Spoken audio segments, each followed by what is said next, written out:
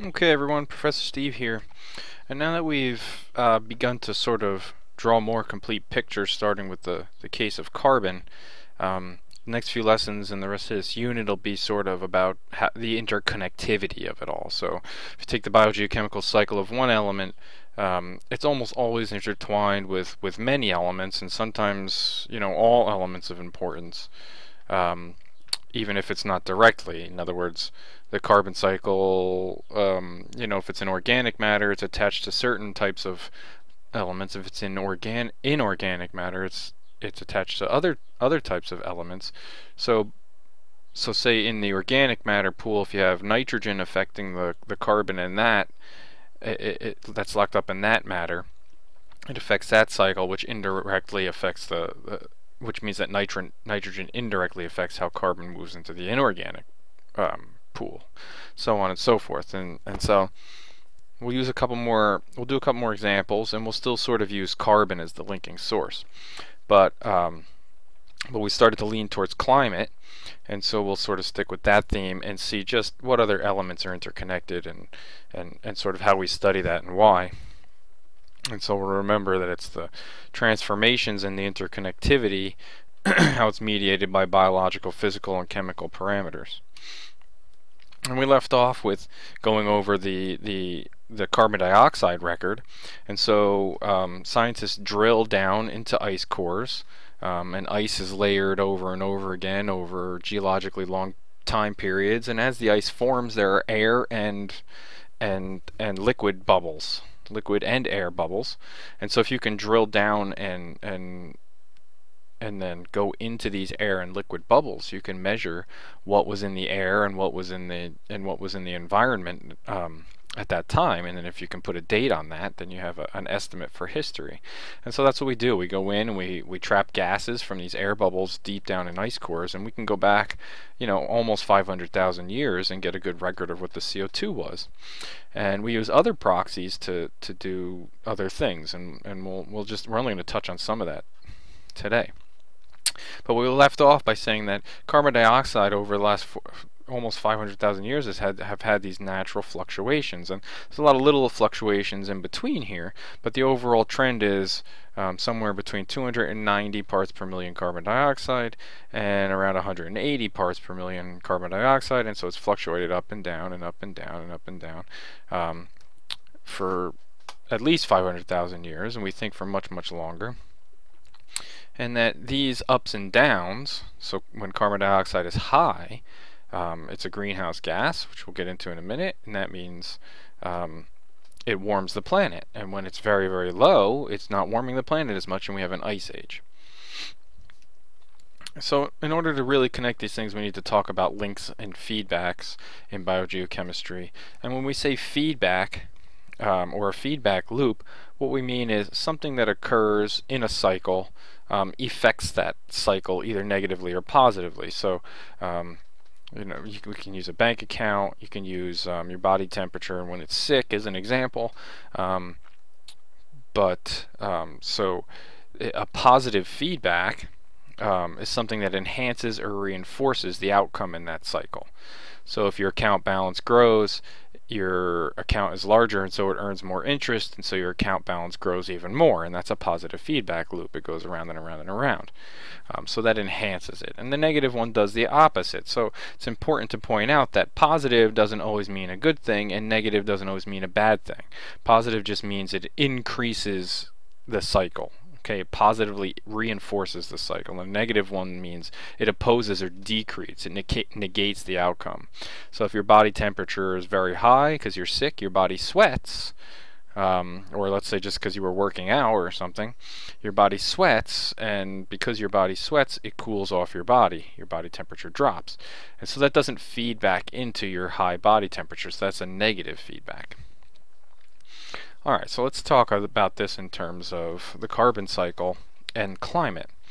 So you should all at least be familiar, uh, slightly familiar, relatively familiar with the greenhouse effect, which is the trapping of energy um, in one form, or uh, letting energy in in one form essentially and trapping it as another form of energy and causing a warming effect okay? So this happens on green in greenhouses. It happens whenever light passes glass or plastic and so that's why we call it the greenhouse effect.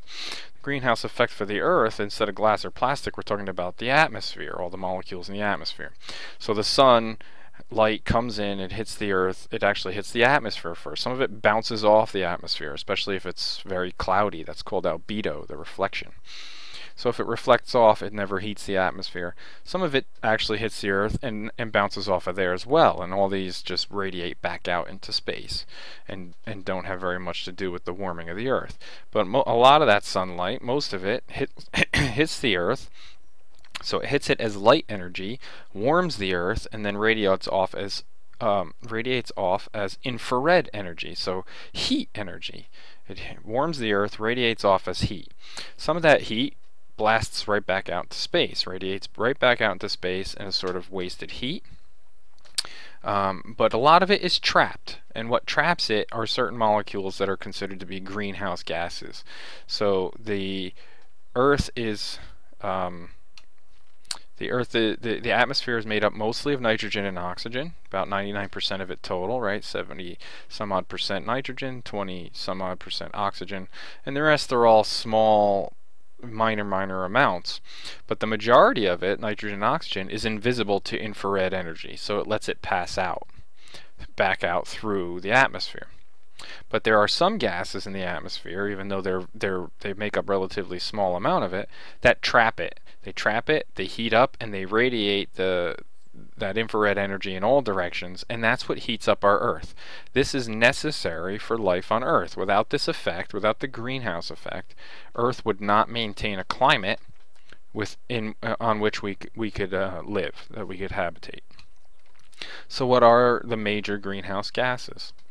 Well, most people jump to CO2 first, but really the largest, or I should say the not the lar not having the largest effect, but the one of highest amount is water. There's tons of water in our atmosphere, um, and 60% of the greenhouse gases in our atmosphere is made up of water. Um, the next biggest, though, of course, is CO2, and so 30 about 35% of our gases of our greenhouse gases in our atmosphere is is CO2. The difference being CO2 is a much stronger greenhouse gas. So this effect of trapping it and radiating it out in all directions and doing this trapping and heating um, is not equal among all greenhouse gases.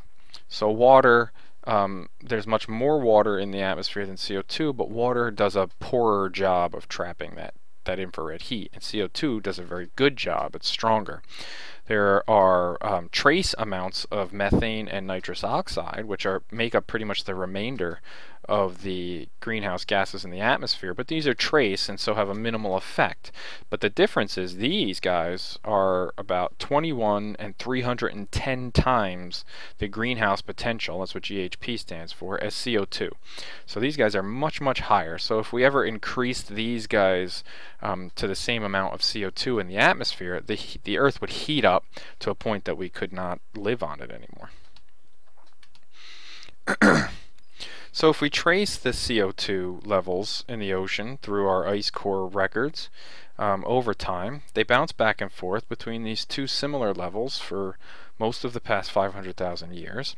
And then we can use other chemical proxies and measurements in those ice cores and, and other things in the ocean and on, in the terrestrial environment to get a good feel for what the temperature was. And so we know that this has been occurring because we see that the temperature was, was warmer so more habitable, more livable for us when CO2 was high. When CO2 was low, the temperature was on average at its lowest points, temperature was on average, you know, five or six, sometimes even eight degrees colder and that's global average, not like right where you're standing now. Some some places were much colder than this, some places were much warmer than this. So if you average it out, five to five, six, seven degrees colder, and that's all it takes for the Earth to have an ice age. So during times in history, we had high CO2, we had um, warm, livable climate, low CO2, ice age, right? livable ice age, livable ice age, livable ice age. And now we are right here where we're sort of we're we should be at sort of the top of one of these CO2 swings, but our CO2 level is way way way higher than natural in, than than historically is natural, and that's because we're putting a lot more CO2 into the ocean. But we haven't yet begun to feel that yet. See, our temperature is still here in the beginning of this this warming trend. That's that's actually a natural warming trend. And that's one of the arguments that scientists and politicians have about whether whether global warming is really happening. Yes, it's happening, um, but it's a natural thing. Global warming makes our planet naturally habitable, um, and we're pretty sure that our excess CO2 is going to warm it beyond the point um, that is natural, but we, we haven't really realized those effects yet. So what are some negative feedbacks to CO2 or what are what are the, some of the feedbacks? What could we do to sort of suck up some of this excess CO2? And the answer is a big fat one that we've been talking about for almost this whole course in one way or another and that's photosynthesis. Photosynthesis is a way of taking CO2 out of the atmosphere right? And we can do this in terrestrial plants or we can do this in phytoplankton in the ocean. And we've talked about the differences in turnover, biomass turnover. I mean, the good thing about terrestrial plants is they're not CO2 limited, which means, um, or they are CO2 limited because the CO2 has to diffuse towards them, and that's a good thing. That means they'll keep sucking it up as long as it's out there. Problem is, trees don't die and turn over and turn over their biomass very often, so they're not going to need a lot more CO2. Um, but we did talk about the fact that um, phytoplankton do turn over very rapidly and they move a lot of carbon around so that's a very good thing. The problem is the ocean's not CO2 limited. There's tons of CO2 there's plenty for the phytoplankton there. So something has to happen in order to draw that CO2 down into the ocean. The other thing is that places where phytoplankton are super active are generally nutrient limited. And so nutrient limitation means that there could be plenty of CO2 to suck down out of the atmosphere, but if there's not enough nutrients for the phytoplankton to grow, then that's not a good thing. And so that's why we start to look at other things that are connected to this carbon cycle. So the last thing I'm going to talk about for this part of this lecture um, is is differences between types of primary production. So here we see sort of the processes we've talked about over and over again, but now we're going to sort of separate them into two different types. So we know that we can have CO2 and all the nutrients necessary in the surface ocean for phytoplankton to grow. They go into phytoplankton biomass. We know that that phytoplankton biomass can be consumed by a heterotroph. We know that the heterotrophs can respire and they can also die and decompose and become nutrients again and feed back into this nutrient and CO2 pool, which can then be taken up by the phytoplankton again. This recycling, this regeneration of nutrients is called regenerated primary production.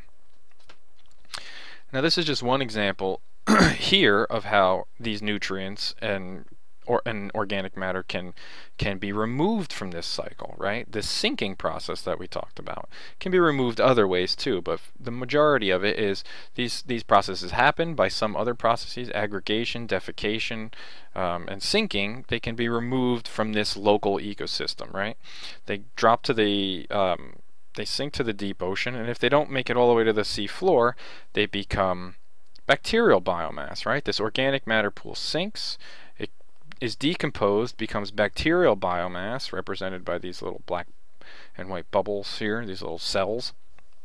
These the bacteria regenerate the nutrients, right? We talked about how in the deep ocean nutrients are high, the surface ocean nutrients are low because they're always being used up. That's because the prokaryotes are regenerating them. Now in the deep ocean we have circulation, we know that, so those nutrients and all these processes right here continually can move, and then we also know that there are circumstances where this stuff can be upwelled, right? Mixed back into the surface ocean. So picture this as a totally different food web, similar food web, but in a totally different location, and these nutrients have been washed up here. Okay, so when these nutrients are washed up, and this ecosystem uses those nutrients to do the same thing that's going on over here, right? Nutrients taken up by primary productivity, consumed and recycled. We call that new primary production because the nutrients that are feeding it come from someplace else. Okay, so that's new primary productivity.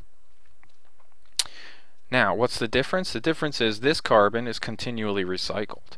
Whereas when you introduce excess nutrients from somewhere else, um, you become carbon limited because there's plenty of nutrients coming into this food web and CO2 now can be drawn down because you're carbon limited.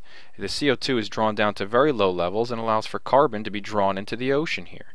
When the carbon's drawn into the ocean, we suck CO2 out of the atmosphere to fuel these cycles that we've talked about. So that's the significance of new primary production. And we'll take this one next step further.